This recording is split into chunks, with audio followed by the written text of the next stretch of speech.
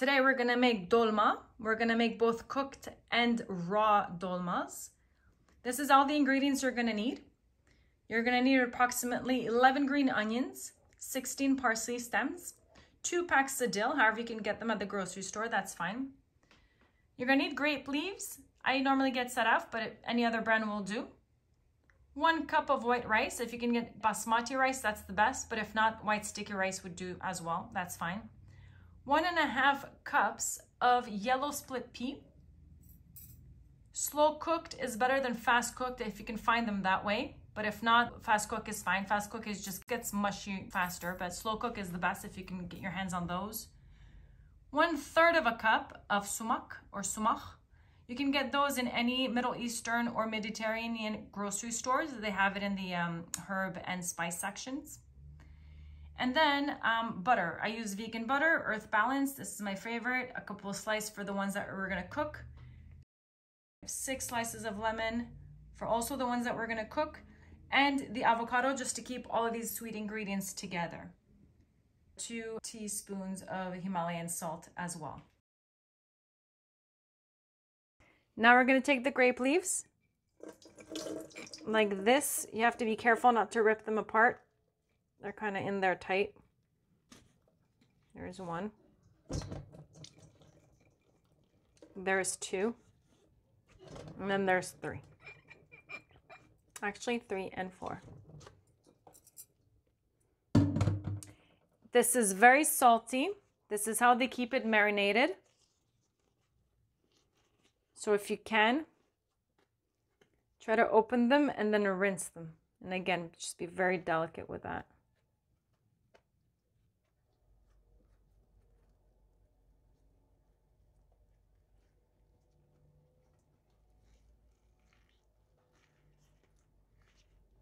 And normally they're folded by per pack.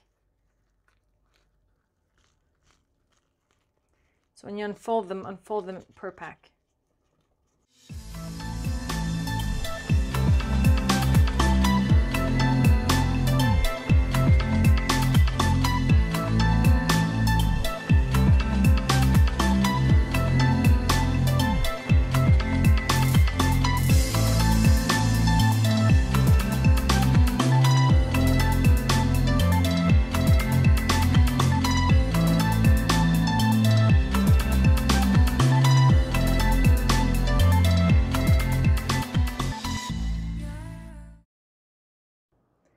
Once everything is chopped, this is what it's going to look like. So you have your avocado puree, you have your green onions, chopped parsley, chopped dill, and we cleaned every single leaf and rinsed it off.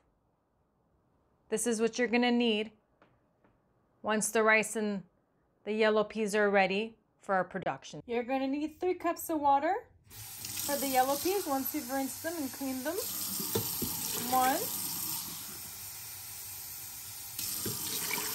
two,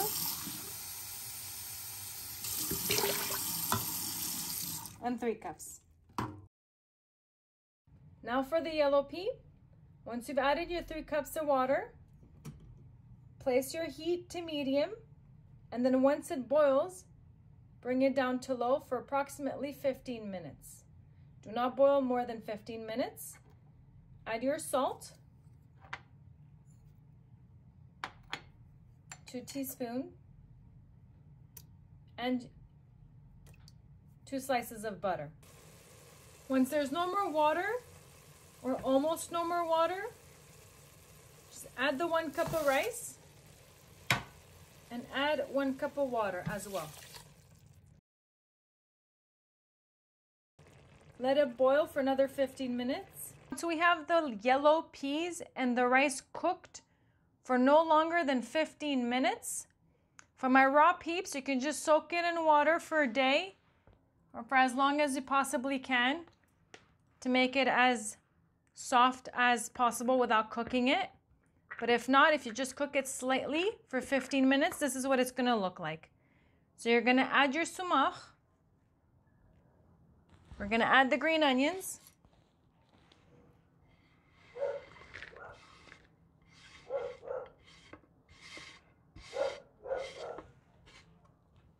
We're going to add the parsley.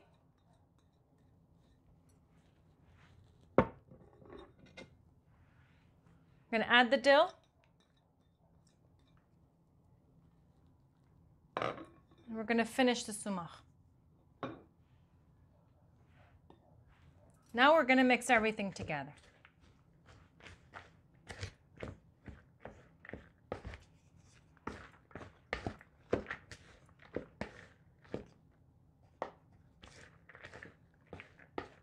Okay. Once everything is mixed, that's where the avocado is going to come in.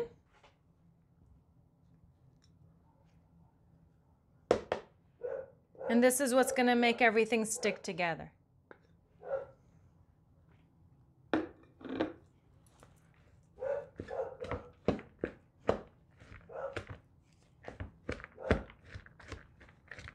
I had to add another half of smashed avocado because a first half was not enough for the quantity that we have here. So I added another half of avocado. You can also add one or two tablespoon of cashew yogurt to help it stick instead of the avocado if you prefer. And you can also add at this point a little bit of garlic. I'm not because I got a date tonight, so I just don't want to smell like a garlic, but you sure can make it part of the recipe. So now we're going to roll. We're going to take one leaf. Make sure you remove the stem.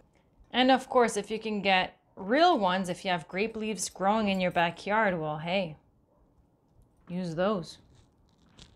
If I had, I would have.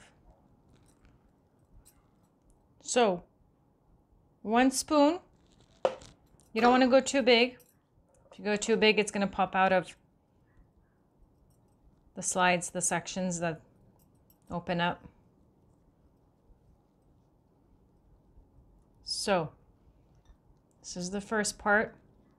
then you fold the sides, and then you keep folding. Ta-da! Just going to put it here. And then later, this one, I'm gonna put it in there. It's gonna be for later. All right, so this is a nice big leaf. I'm gonna be able to stuff this a lot.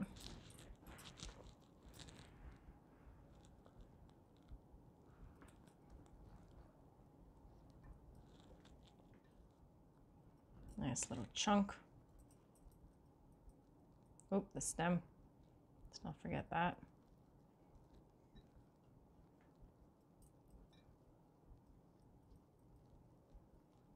So in the beginning, this is going to be tricky.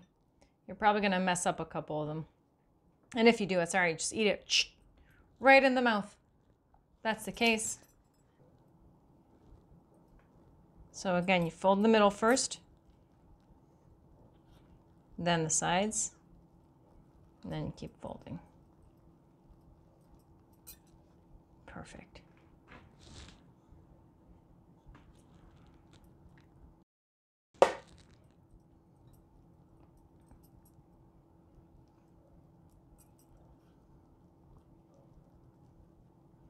Oh, this is a mini one. Isn't this cute? Look at that. Little mini.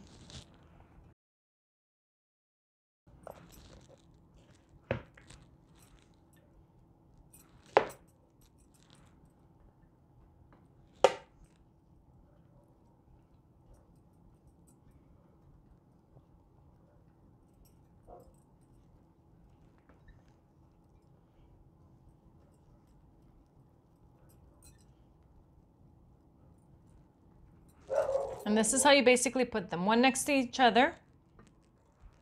This is how we prepare by just putting a couple leaves on the bottom so it doesn't burn.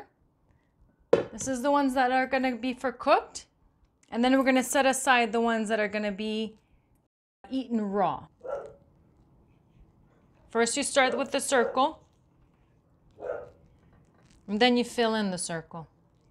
And the reason why you do that is because for the ones that are going to cook it, once you cook it, this is going to boil and it's going to shake it. You don't want it to get open. So you just squeeze them first around and then you do the inside.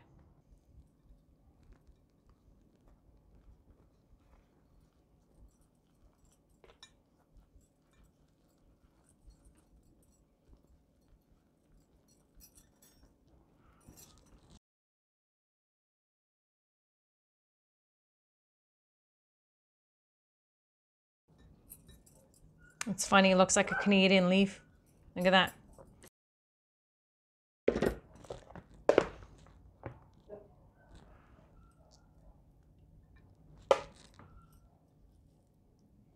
a little bit too much. If you see it put too much, don't be shy. There's no ego here. We're all winners. I'm not trying to prove anything. Because if you stuff them too much, it's going to open in there, and that's not going to look nice. It's going to look like a dolma bursted in your packs of dolmas.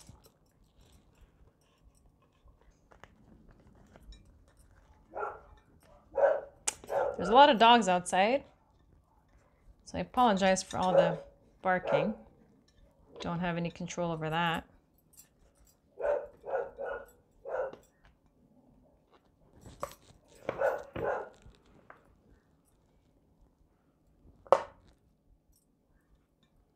Okay, so if you're gonna eat it raw, this is how you're gonna just place it. Just put the lemons as decoration.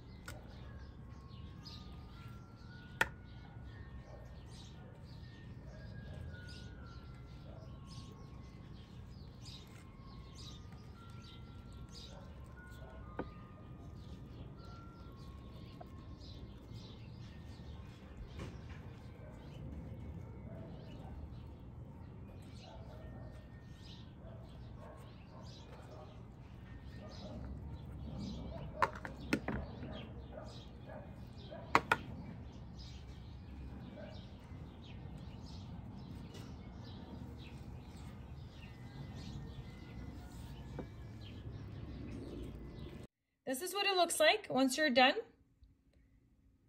Everything is nice and stuffed. We added lemons on top and vegan butter. You add one cup of water, let it boil and then simmer on low for a good 25 minutes or until the water dissipates completely. Plate upside down on everything, the dolmas and the butter and the lemons. That's gonna keep everything from moving while it's boiling. So just simply put it one of your plates in there. Make sure it's not plastic. Make sure it's made out of glass, like what actual plates are made out of. And then you're good to go for a good 25 minute boiling session. And the final product, this is what it looks like. Ready to eat.